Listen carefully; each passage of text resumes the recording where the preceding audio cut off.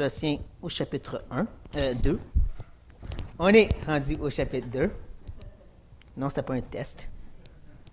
Mais euh, ce matin, j'aimerais faire une petite correction et aussi une petite excuse. Je m'excuse parce que j'ai oublié de vous donner le texte à regarder pour cette semaine. et je prends au sérieux et je m'excuse sincèrement parce que je veux justement vous motiver à le regarder vous-même à la maison. Souvent, je parle de trois ou cinq versets, donc on a le temps de les lire au moins une fois, de méditer un peu dessus, même pouvoir les étudier. Parce que mon intention, c'est que vous soyez prêts quand on arrive dans le texte et qu'on a comme 20 à 30 minutes pour le regarder. Donc, ce matin, ce qu'on va faire, c'est qu'on va terminer la section personnelle de Paul qui a commencé au verset 24 du chapitre 1 et qui est, bien sûr, terminée au verset 7 du chapitre 2. Donc, c'est pour ça, ce matin, on va regarder les versets 4 à 7 ensemble on va regarder aussi euh, une petite correction, comme j'ai dit, que je voudrais faire. Je disais quand on regardait euh, dans l'introduction que le chapitre 1 et 2, c'est vraiment le doctrinal et le chapitre 3 devient le pratique. Mais étant dans le chapitre 2, je me suis rendu compte qu'il y a du pratique dans le chapitre 2.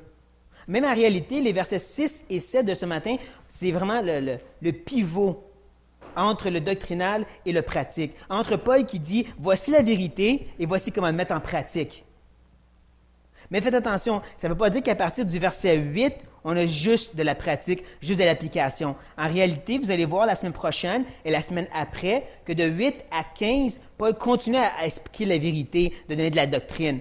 Et seulement rendu au verset 16 du chapitre 2 que là, il fait que donner de l'application. Faites pas ceci, faites pas cela, écoutez-les pas. Donc, sachez-le, la semaine prochaine, on va regarder les versets 8 à 12 une grande section qui peut se sous-diviser en deux petites parties. Je vous dis ceci parce que, oui, il va y avoir un quiz la semaine prochaine. Et je vous donne tout de suite une question d'avance. C'est quoi la division des versets 8 à 12? Comment on pourrait les séparer? Comme je dis, il y a deux séparations très majeures. Donc, vous avez le temps d'étudier. Nous, ce matin, on va regarder une section qui est complète. Les versets 4 à 7, il y a vraiment un thème, une idée. Les versets 4 et 5, c'est un peu comme l'introduction, la préparation pour que Paul arrive au verset 6 et 7, le pivot, et qu'il nous dise Faites attention. Donc, le thème de ce matin, c'est vraiment l'avertissement. C'est même le titre de mon message de ce matin L'avertissement de Paul. Donc, on va commencer avec le verset 4. Je dis cela afin que personne ne vous trompe par des discours séduisants. Tout de suite en partant, on voit quand Paul dit Je dis cela, qui nous fait reculer vers l'arrière. Je dis quoi? De quoi qu'il parle, Paul? Est-ce qu'il nous fait reculer jusqu'au chapitre 1, verset 15, la Christologie? Je pense pas. Je pense qu'on peut tout simplement reculer au chapitre 2, verset 1, où est-ce qu'il leur dit, je veux en effet que vous sachiez, hein, vous devez savoir trois petits points. Puis là, on a vu ensemble les versets 1 à 3, ça parle du combat que Paul mène pour eux et pour tous ceux qui ne l'ont pas encore vu. Un combat pour trois choses, si vous vous rappelez dans le verset 2. Hein, les cœurs consolés, qui soient unis dans la charité et enrichis d'une pleine intelligence pour pouvoir connaître le mystère de Dieu, savoir Jésus-Christ, savoir ce mystère dans lequel est caché tous les trésors de la sagesse et de la science.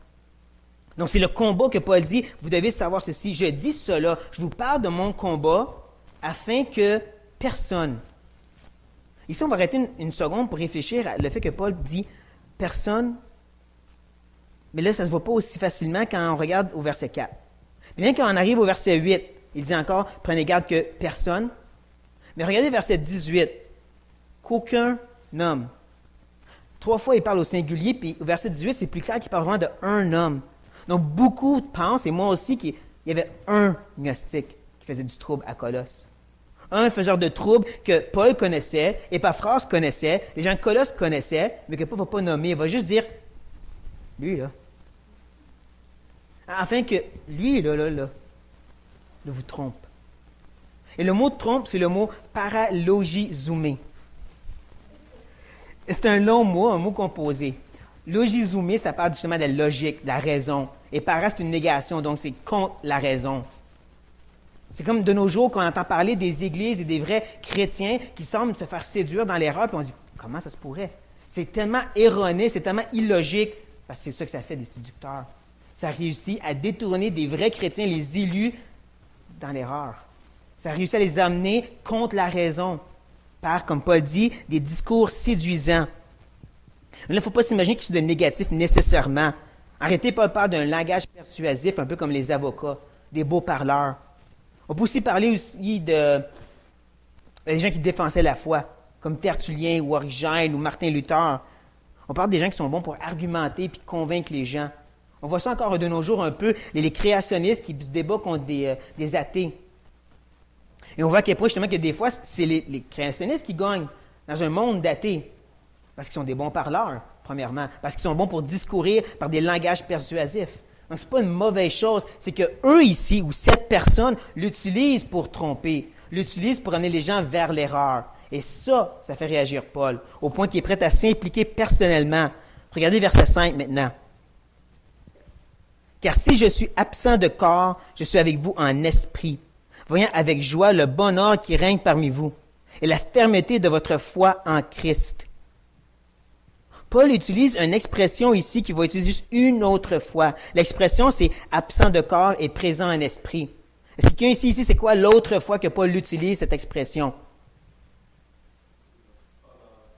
Oui. 1 Corinthiens chapitre 5. Le fameux passage de la discipline. C'est là que Paul utilise encore une fois cette idée de ne pas être présent en corps, mais oui en esprit. C'est intéressant quand on réalise que dans Galate, qu'il y avait de l'erreur doctrinale, Paul ne dit pas ça. À Rome, où est-ce que Paul n'avait pas été vu de visage, il ne dit pas ça. À Colosse, oui. Seulement à Colosse, il va leur dire, je suis présent en esprit. Cette Église que non seulement Paul n'avait pas été en personne, mais qu'il y avait de l'erreur doctrinale. Un beau mélange des deux. Et je peux m'empêcher d'avoir une sorte de, réflexion euh, subtile de la part de Paul. Surtout quand on fait le lien avec 1 Corinthiens 5, où est-ce que quand Paul dit ça, il dit dans le but de retrancher le levain. Hein, c'est pour ça que je vous dis, je suis là, pour vous penser à enlever le péché. Je peux m'empêcher de voir ici que Paul est en train de dire, vous savez, la, personne du verset 4, de wow, c'est vraiment néfaste combien de chrétiens pensent qu'ils peuvent tourner autour du péché et de l'erreur sans se faire mort par le serpent. Paul dit clairement, on dirait de cette façon très subtile, moi c'est comme si je serais là, puis qu'est-ce que vous pensez que moi je ferais? Mais Paul aussi il devait comprendre que ce n'est pas juste une église qui est faible dans la foi, les Colossiens. Ce n'est pas une église qui est dans l'erreur, ce n'est pas une église tout croche comme les Corinthiens, on pourrait dire. Non, il va utiliser deux termes militaires pour nous faire comprendre à quel point ils sont corrects, ces Colossiens. Premièrement, il dit bon ordre. Pas besoin de trop l'expliquer, celui-ci. Vous pouvez penser à des soldats, justement. Pas besoin juste des soldats romains. Vous penser à des parades militaires de nos jours. Hein, tout le monde avance en même temps, ils tournent en même temps. C'est une bonne ordre. On parle d'une discipline externe ici, d'une répétition des choses qu'on a à faire qui n'est pas nécessairement juste ritualistique. C'est un peu comme Benoît nous disait la semaine passée. Oui, on fait les mêmes choses, mais ce n'est pas mauvais de faire les mêmes choses. Paul même, il le loue à propos des Colossiens. Il y a place à dire qu'on fait ce qu'on a à faire à tous les jours. Mais il n'y a pas juste ça qui fait en sorte que tu es un bon chrétien. Il dit aussi qu'ils sont fermes dans la foi. Là, ici, on a peut-être un peu de difficulté de voir dans le mot fermeté un terme militaire. Parce qu'en soi, le, mot nous parle de vraiment une colonne bien établie et fondée. Un peu comme dans Colossiens chapitre 1, verset 23, vous en rappelez, demeurer fondé et inébranlable. On parle de ça. Mais le mot aussi est utilisé dans plusieurs autres textes grecs Telle la traduction des Maccabées.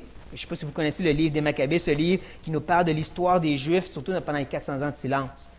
Et dedans, il y a beaucoup de, guerres. Et une de ces guerres, c'est passé où est-ce que la, première ligne de défense, on appelle le front, semblait inébranlable. Les soldats ennemis avançaient, puis personne ne pouvait passer à travers cette première ligne par la grâce de Dieu. Donc pensez à ça. Rien de mal à rentrer et transpercer dans leur foi à eux. Rien n'a pu les infecter. Donc, il nous montre ici, Paul, que c'est les deux aspects qui font un bon chrétien. C'est autant ta relation avec le Seigneur, cette partie interne, que l'aspect externe, que tu fais ce que tu as à faire. Et l'Église de Colosse, elle l'avait. Elle avait ces deux choses-là. Elle était fidèle dans leur amour, comme on avait déjà vu. Est-ce que ça empêche Paul de quand même les avertir? Non. Verset 6.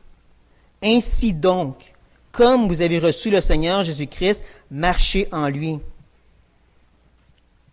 tout de suite en partant, on comprend par ainsi donc qu'il est en train de dire oui, c'est bon, mais il faut, que ça continue. Et là, il dit comme vous avez reçu le Seigneur. Ça peut être compris de deux façons, cette phrase-là. C'est ça que je me suis rendu compte. La première se concentre sur le mot comme, en parlant de la façon que tu as reçu le Seigneur, la façon que tu as été sauvé, qui veut dire que ça, ça créerait des façons de marcher avec le Seigneur. Et là, ça devient un peu néfaste. Parce qu'en réalité, si la façon que tu as été sauvé, c'est la façon que tu marches, bien, ça fait toutes sortes de marches différentes.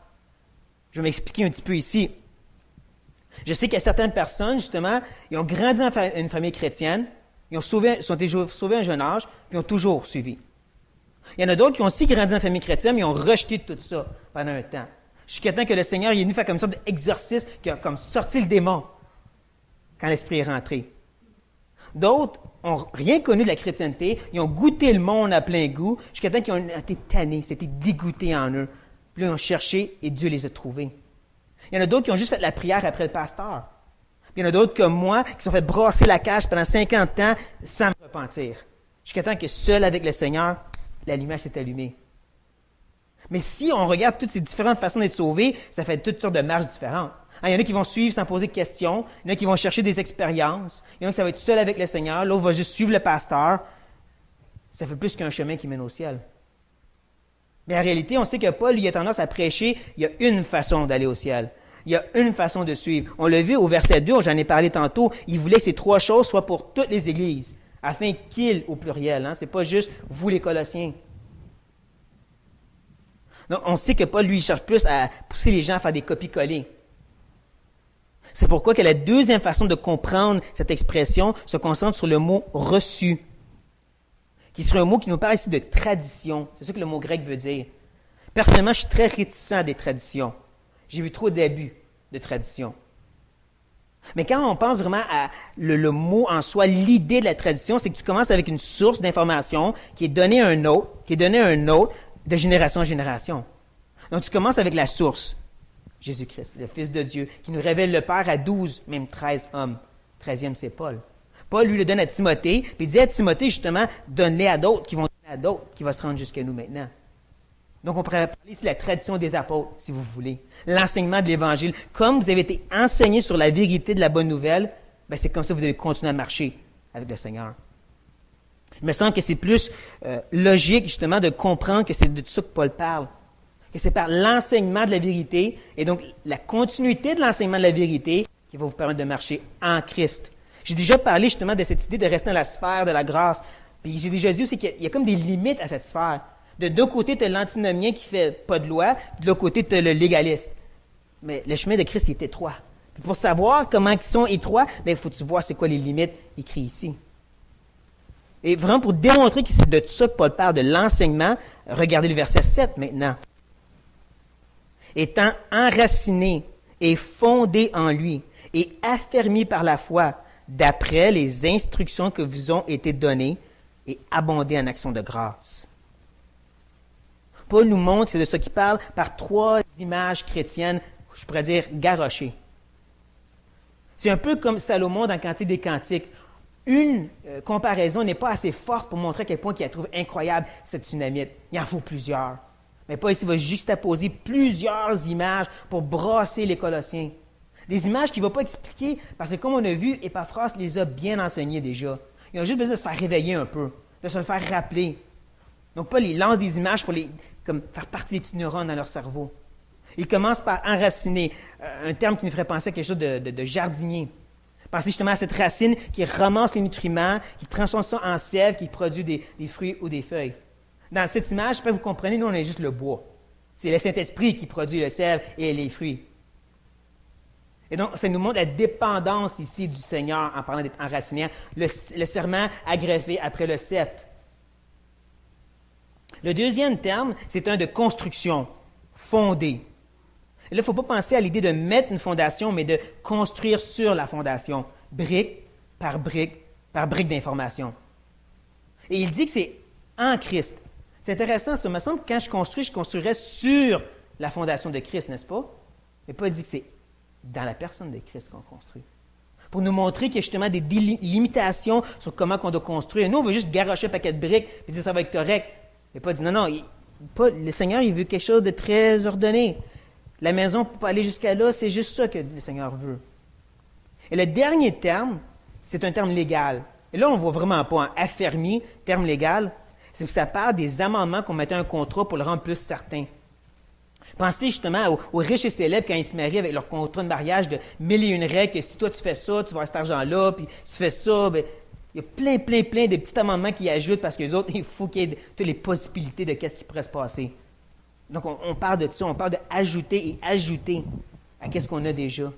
Moi, quand je pense aux amendements, je pense à l'information à l'extérieur de la Bible, les livres et les parchemins, si vous voulez. Pendant dix ans de temps, c'était juste moi puis la Bible. C'est ça que j'étudiais. Mais quand j'ai commencé à lire sur l'histoire, de comprendre que la femme là, a fait ça parce que c'était comme ça dans ce temps-là. Ah. Paul, il parle de ça aux Colossiens parce que la ville, il y avait ça là-bas. Ah. Ça l'a ajouté à ma foi, ça l'a fortifié davantage, ça l'a affermi. Et là, juste en cas que vous pensez que je suis en train d'extrapoler l'idée d'enseignement parce que j'aime tellement l'étude, bien, Paul lui dit lui-même, qu'est-ce qu'il dit? D'après les instructions que vous avez été données. Paul, il fait son propre commentateur. Il dit Les images que je vous ai données, là, c'est tout rapport avec l'instruction.